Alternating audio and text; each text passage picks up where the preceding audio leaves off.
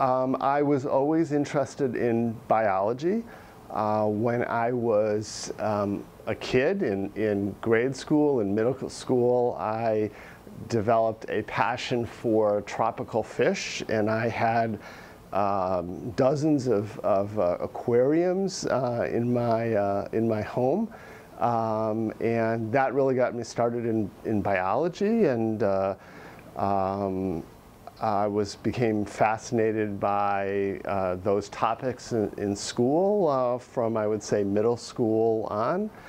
And eventually that found me in college uh, taking biology courses. And then uh, during medical school I uh, had the opportunity to spend a year uh, much of which was on the working in a refugee camp in the Thai-Cambodian border, and there I was exposed to uh, lots of um, tropical diseases, lots of infectious diseases, and particularly the, the, the big problem of, of pneumonia in children in developing countries. And I decided that that was something that I wanted to do something about.